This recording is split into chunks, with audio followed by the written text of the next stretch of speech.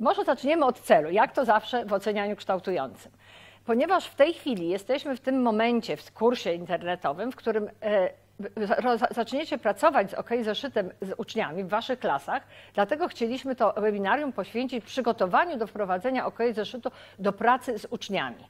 Niektórzy z was już ten zeszyt prowadzą, ale y, dynamika kursu jest taka, że teraz reszta osób zacznie to prowadzić. Będziemy korzystać również z Waszego doświadczenia, z tych osób, które już rozpoczęły y, pracę z OK zeszytem, ale to jest nasz cel. To jest właśnie ten zeszyt.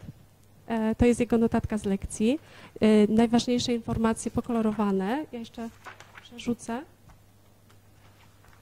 Tutaj jest e, ukryta informacja dla niego ode mnie, dlatego jest za, zamknięta, żeby nikt tam nie zaglądał.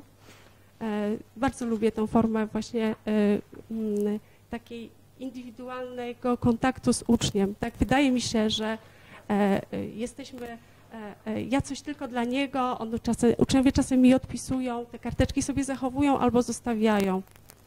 W moich zeszytach jest również zadanie na rozgrzewkę.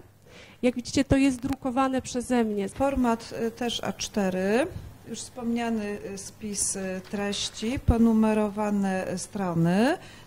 Do spisu treści trzeba było troszkę uczniów przyzwyczaić, także też trzeba było trochę im przypominać, żeby sobie dodawali kolejne tematy do spisu treści.